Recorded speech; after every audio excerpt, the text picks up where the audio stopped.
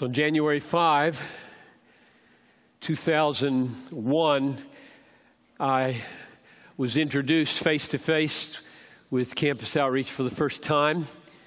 I stood in front of 4,000 students in Atlanta at the Campus Outreach National Christmas Conference. And from that meeting on and that lunch gathering that we had there on, it was in my heart to bring Campus Outreach to Minneapolis. And God was so good to us. I have said publicly more than once, and I'll say it again now, that it may be that the most important part of my legacy for 33 years at Bethlehem Baptist Church will be that that happened.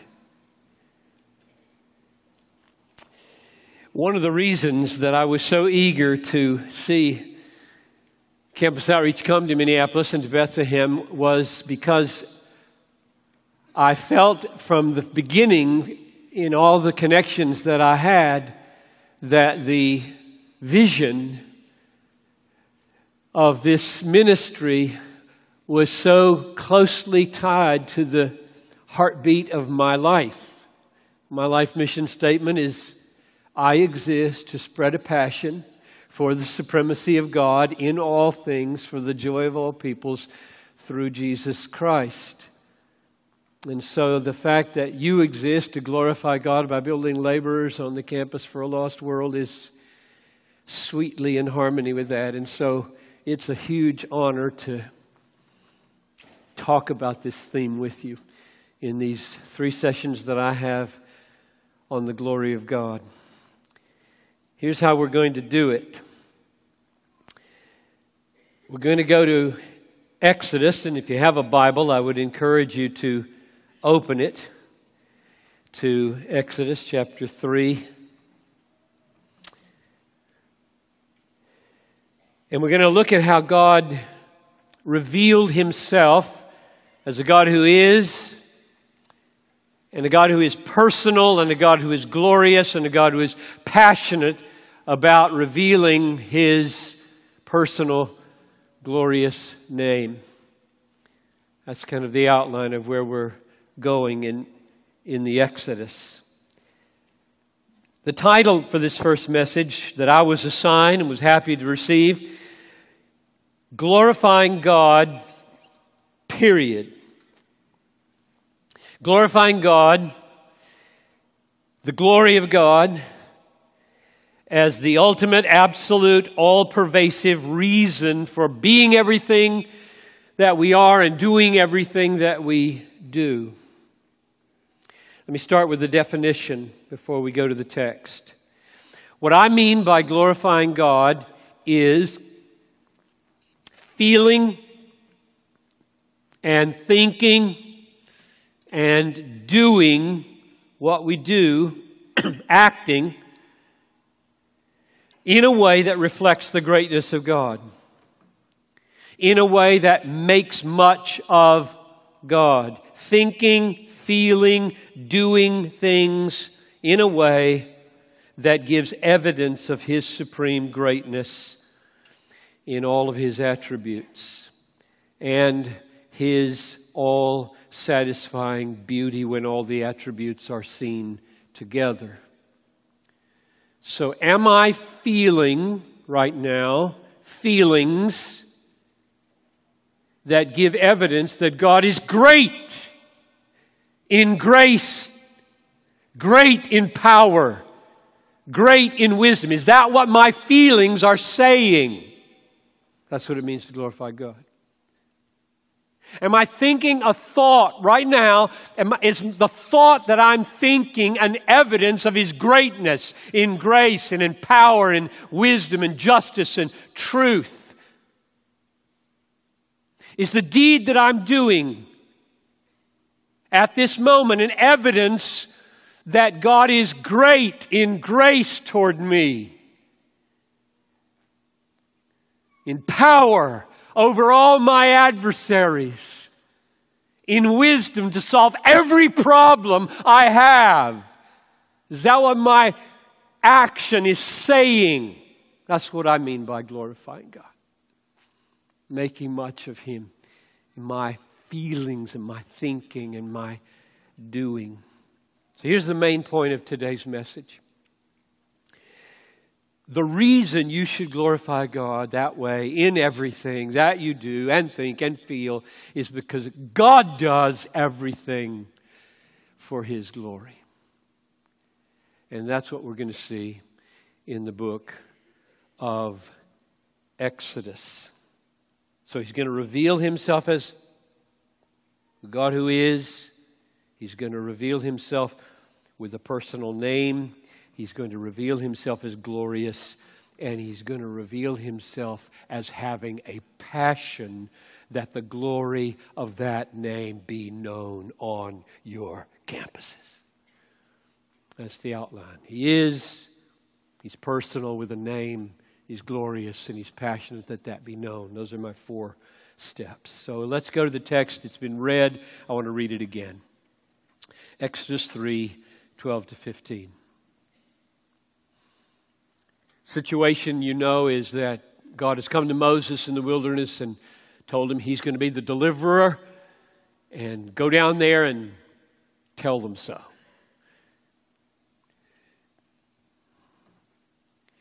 He said, God said, I will be with you. And this shall be a sign for you that I have sent you when you have brought the people of Egypt, when you have have brought the people out of Egypt, you shall serve God on this mountain. Verse 13. And then Moses said to God, If I come to the people of Israel and say to them, The God of your fathers has sent me to you, and they ask me, What is his name? What shall I say to them? And God said to Moses, I am who I am. And he said, Say to this people of Israel, I am has sent me to you. And God also said to Moses, Say to this people, The Lord, Yahweh, the God of our fathers, the God of Abraham, the God of Isaac, the God of Jacob, has sent me to you. This is my name forever and thus I am to be remembered throughout all generations. So they ask, What's his name? And God says three things. The first thing is not his name, the second thing is not his name, and the third thing is his name. Let's look at the three things that he says. Verse 14, first part of the verse God said to Moses, I am who I am. That's not his name. It's as though he's saying, Before I tell you my name, before I show you how glorious it is, before you talk about how you're going to glorify me in this conference, you just need to settle in on I am. God is, absolutely is. That's the first thing. Then he says, second half of verse 14, and he said, Say this to the people of Israel I am has sent me to you. That's not his name. That's building a bridge between his being, I am who I am, and the name, which is coming in verse 15. Now, third thing he says, his name. God also said to Moses, Say this to the people of Israel Yahweh all caps, L O R D, in your English Bible, always translating, probably translated, I mean, probably pronounced Yahweh, the God of your fathers, the God of Abraham, the God of Isaac, the God of Jacob. This is my name, Yahweh, forever.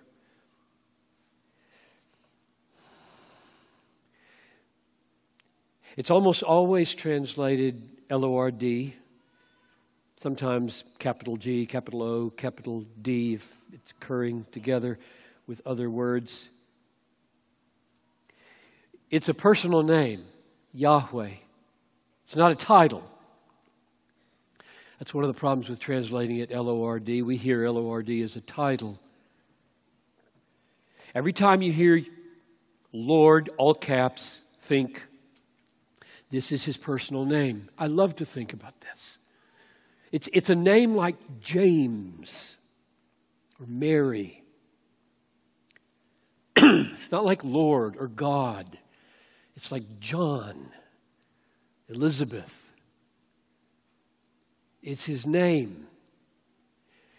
And you know, I presume, that Yahweh is sometimes shortened to Yah, and it's put on the end of the word hallelujah. So I love every time we sing the word hallelujah. I, I, I do that in my head, even if the music isn't doing it. I do that in my head. Hallelujah, James! And you know that hallelujah is the imperative Hebrew praise. Praise James. We praise you, Yahweh. It's personal, it's a name.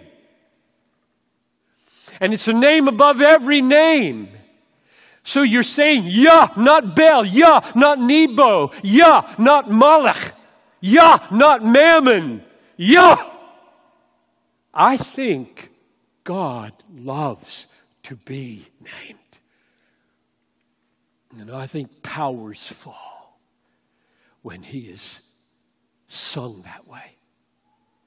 So know that he's giving them a name and then he uses it 5,321 times in the Old Testament. Why? That's amazing. In a few minutes, in a few minutes, we're going to see how jealous he is for that name to be known. But first, we need to just pause and reflect on the connection between the name and the I am who I am. So the first thing he says is, I am who I am. Then he says, I am has sent me to you. Then he says, Yahweh is my name. Now, I assume you've all heard this, but Yahweh is built on the Hebrew verb for be or I am. So this is not, this is not disconnected like this name has nothing to do with I am who I am. Every time you hear Yah, hallelujah, praise you, Yah, you hear hallelujah, the personal one who absolutely is, and there is no other. He means for his own personal name to always be carrying the freight of I am. And so we should pause here before we even contemplate why it's a name, why he gave himself a personal name, and, and contemplate that he is. Underneath everything that's going to be said in this conference, everything that's going to be done in your life or here, is that God is. What does it mean that God is? The fact that God is, is breathtaking. Let me try to help you to see some of the tip of the iceberg that He is. That God is means He never had a beginning. This staggers every mind, especially four year old minds. Who made God, Daddy? Nobody made God. What happens in a little head when you say that? Wonderful things happen. Wonderful things happen. They're confronted with absoluteness. No beginning. Take a lifetime. Take an eternity, little one. He was. He is. He will be. No beginning. Second, that God is means He'll never end. His being will never go away. You can't go out of being if you are being.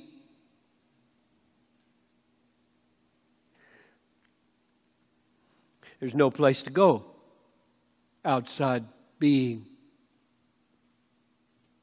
There wasn't anything else. Third, God is means He's absolute reality. Nothing before Him, no reality outside of Him before He makes it. He's not one of many realities. He's simply there, absolute reality. He was eternally. There, there was no space into which he fit. Before creation, there was no emptiness. There was God. That's all there was. There was no space, no nothingness.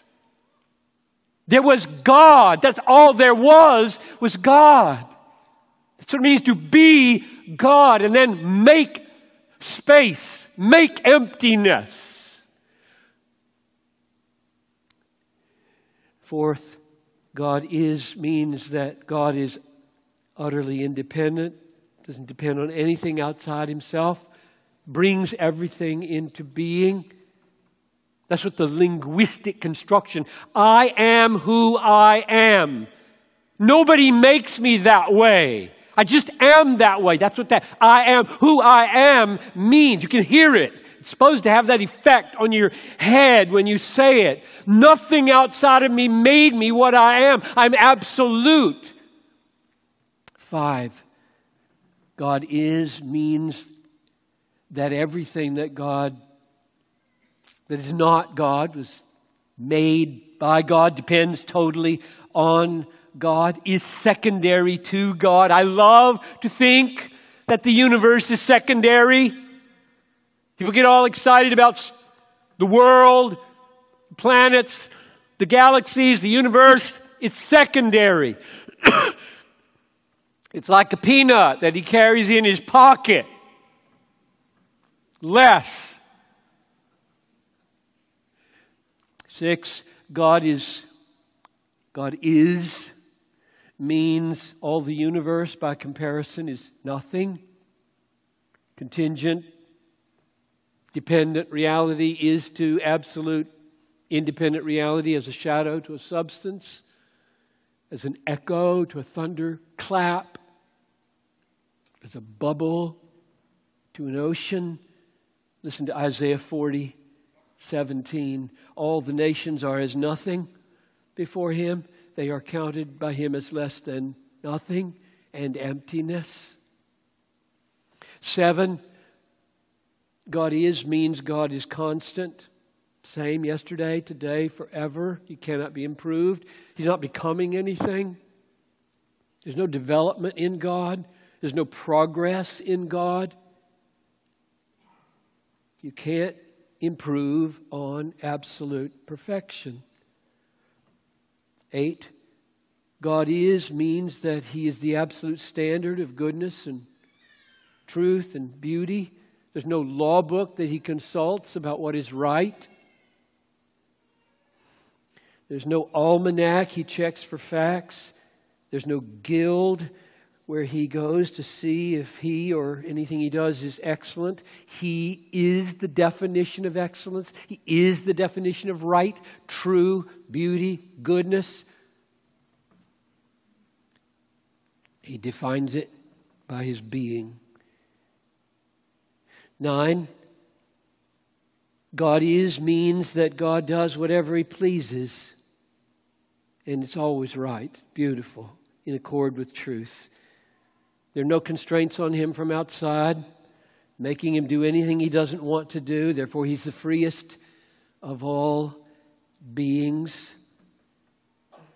And finally, number 10, God is means that he is the most important, most valuable reality in the universe and the most important and the most valuable person in the universe. Therefore, he's more worthy of our interest, more worthy of our attention and our admiration and our enjoyment than any other reality in this world or outside this world. That's a little bit of what it means for God to be. God is. Never get over that God is. Be stunned with your students that God is. Look at them and say, isn't it amazing? He is. He is who He is. That's the first thing He reveals here in this text. That's your job. Glorify this God. Your students were made to know Him. They were made to admire Him, enjoy Him. Their hearts ache for this God, and they don't know it. And that's why they do what they do. And your job is impossible. You all know that. You're all Presbyterians with a sprinkling of Baptists, right? So you know this truth. This is impossible. God sends the Apostle Paul to open the eyes of the blind, it says in Acts 26 18. He can't do that. Oh. Isn't it great to be signed up for the impossible? All over the world, this is your job to show them who they're aching for. Now, the question that's number one God is, He shows that He is. Now, He's personal. What about this name? Why a name? Translated L O R D, but it's a personal name. Verse 15 God said to Moses, Say this to the people of Israel Yahweh the God of your fathers, the God of Abraham, the God of Isaac, the God of Jacob, has sent me to you. This, this Yahweh, is my name forever. Thus I am to be remembered throughout all generations. God was not content to be known as a conglomeration of divine attributes. He's not the powerful one, the loving one the wise one. He's not content with that. I want to have a name. Why? Because people who are persons relate with names. If you all just went around calling each other by titles, there wouldn't be much relationship here. Names make relationships. And we move in and out of kinds of relationships by kinds of names nicknames and sweet names and precious names. And names are huge in relationship. God did not intend to be known as, a, as an assortment of attributes merely, but as Yahweh, James, Elizabeth, just a name. He has a name. And if you ask, so if we're to know him personally by the name Yahweh, how does that relate to the name Jesus? Don't we know him now as Jesus? You know, I presume, that Yesu in Greek is the Greek form of the word Yeshua, which is Joshua which is made up of two words, right? Yeshua. Yahweh saves. That's Joshua's name. Yeshua. So you will call his name Yeshua, for he, Yahweh, will save his people from their sins. In other words, you don't have to choose between Jesus and Yahweh. You dare not choose. It's even more amazing when you consider what Paul does in Philippians 2. Philippians 2:11 every tongue will confess that Yeshua Jesus Christ is Lord to the glory of God the Father. That's a quote from Isaiah 43 25, where Yahweh is the one to whom every knee will bow. And every exegete that doesn't have a conceptual bias against the deity of Christ sees what Paul is doing here namely saying, the name Jesus is fulfilling the name Yahweh. Jesus is Yahweh incarnate. So, if you wonder about knowing Him personally and you've come to know the name Jesus as sweetest name on earth, that's okay. Just know it. Know it all. Know what you're saying when you say the name Jesus. Yeshua. Yahweh saves. That's my Jesus. That's number two. The name. So, first, God is. Second, He is personal and has given us a name to be known by. And now, third, He is, this name is glorious. Turn with me to Exodus 14. Moses has been sent with this name to lead the people out. How will God do this?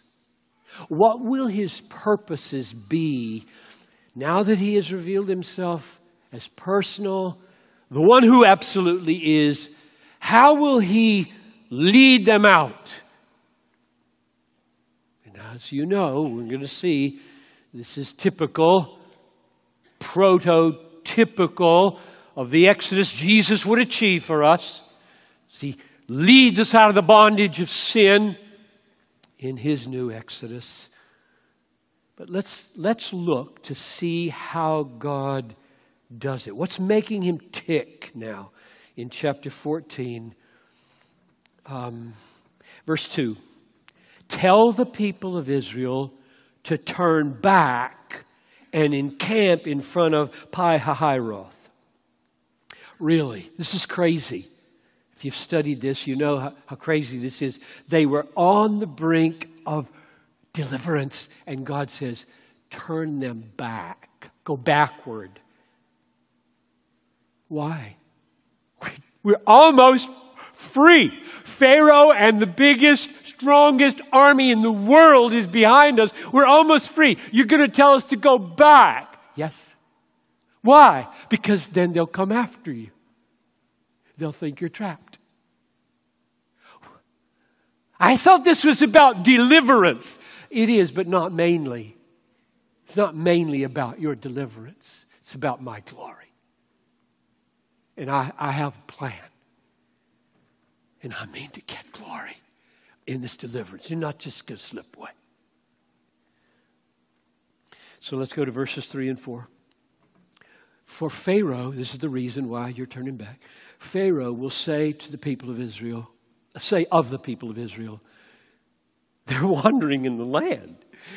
The wilderness has shut them in. And I will harden Pharaoh's heart, and he will pursue them, and I will get glory over Pharaoh and all his host, and the Egyptians will know I'm Yahweh, the glorious God who is. That's what I'm about here. Yeah, you're going to get delivered. It always works that way for people who trust me.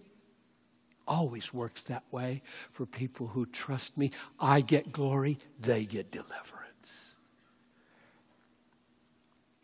So, they're trapped at the Red Sea. Now go to verses 16 to 18. Chapter 14, verses 16 to 18.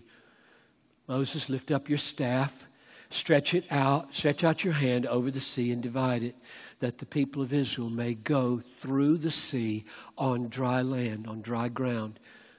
And I will harden the hearts of the Egyptians so that they shall go in after them, and I will get glory over Pharaoh and all his hosts and his chariots and his horsemen and the Egyptians shall know I'm Yahweh when I have gotten glory over Pharaoh and his chariots and his horsemen. So now put the pieces together here. Verse 4 I will get glory over Pharaoh and all his hosts, and the Egyptians will know that I am Yahweh. Verse 17, I will get glory over Pharaoh. Verse 18, the Egyptians will know I'm Yahweh when I get glory over Pharaoh and his chariots. So, what's the point? It's two points. These are my last two points. The first one is Yahweh is glorious. The name Yahweh carries glory. When God is known as Yahweh in the world, when He uses that name 5,000, what I say, 321 times, He means glorious Yahweh, always glorious Yahweh. There is no non glorious evidence of Yahweh. Yahweh is never manifesting a non glorious way. Everything He does, says, thinks, feels is glorious. The Egyptians will know that I am Yahweh when I've gotten glory over Pharaoh. So he means to be great in glory as he reveals himself as Yahweh. Yahweh is glorious. So now he reveals himself as the God who is. He reveals himself as personal with a name. He reveals himself now as glorious. I'm going to always get glory by this name. And now, lastly,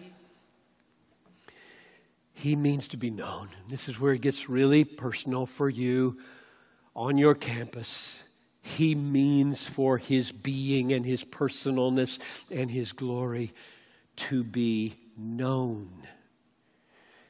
Now, if, this is, if it was clear that his purpose is to be, and if it was clear that he aims to be personal, and if it's clear that he aims to be glorious, it is doubly clear in Exodus that he means for this to be known.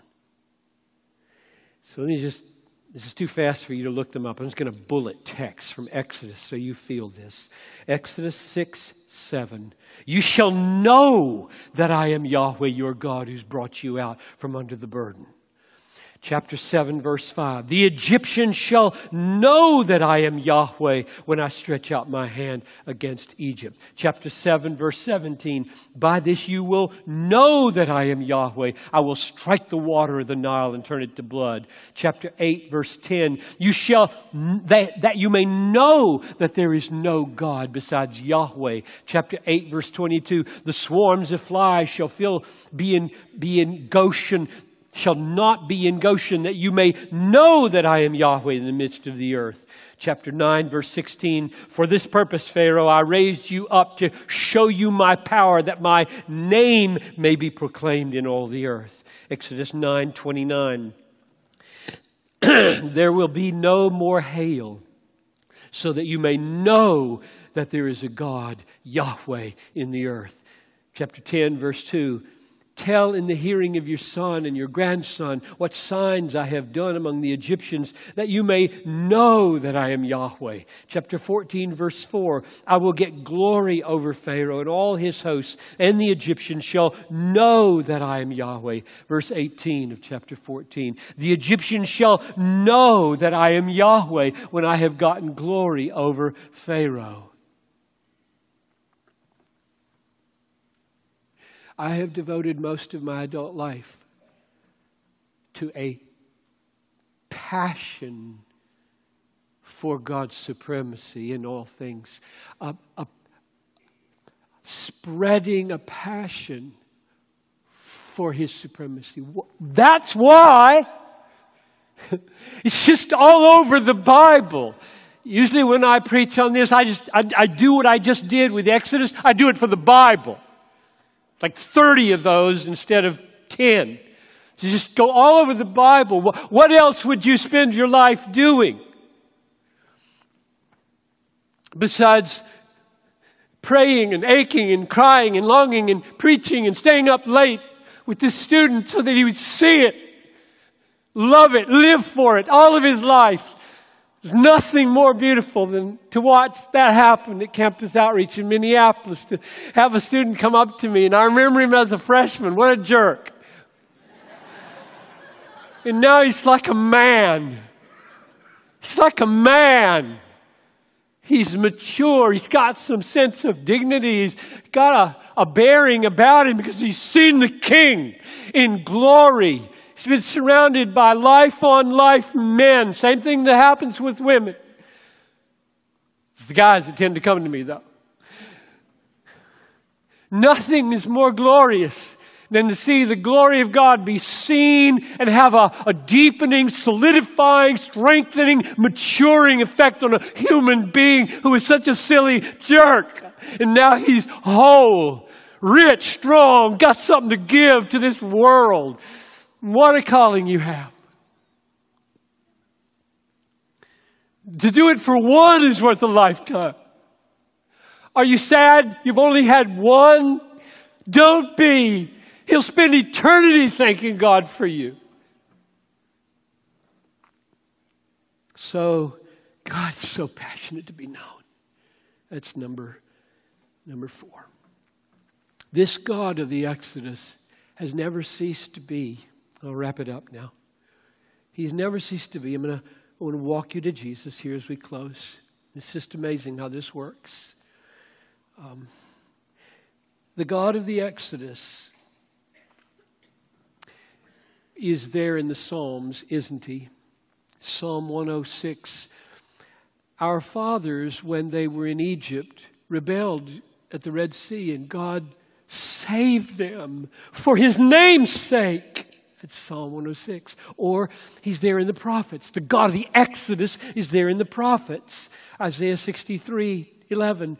Where is he who caused his glorious arm to go at the right hand of Moses, who divided the waters before them to make a name for himself, an everlasting name? It's there in Hosea 13. I am Yahweh, your God, from the land of Egypt. You know no other God but me. Besides me, there is no Savior. And you know that the God of the Exodus came into history in Jesus Christ. That's why they fled to Egypt.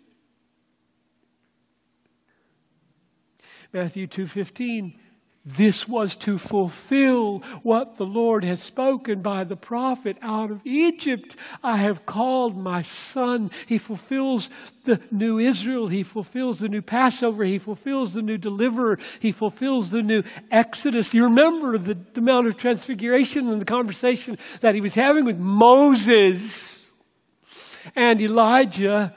And it says they appeared in glory and spoke of his exodus, which he was about to accomplish in Jerusalem. And when he came to that night before the exodus, it's like a Passover, he came to that night before the exodus the next morning, where you would be delivered out of the bondage of sin and hell and death and brought into the fellowship of sonship what did he say was driving him that night? Here's what he said. This is John 12, 27. Now is my soul troubled. What will I say? Father, save me from this hour. For this purpose I have come to this hour. Father, glorify your name. And a voice came from heaven I have glorified it and I will glorify it again. So, every one of you who has been delivered by the exodus of Calvary from the bondage of sin into a life of glorious ministry to students, know to what you owe your deliverance Jesus' passion for the glory of God. I'm not leaving this hour. This is why I came to this hour. Father, glorify your name. That's why I'm here. You get the deliverance, He gets the glory.